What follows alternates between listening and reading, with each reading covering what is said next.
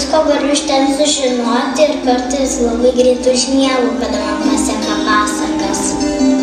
Prisislenku arti prie mamos, kad man būtų šilta ir tada jinai man seka. Man patinka apie gyvūnėlius ir labai ilgos.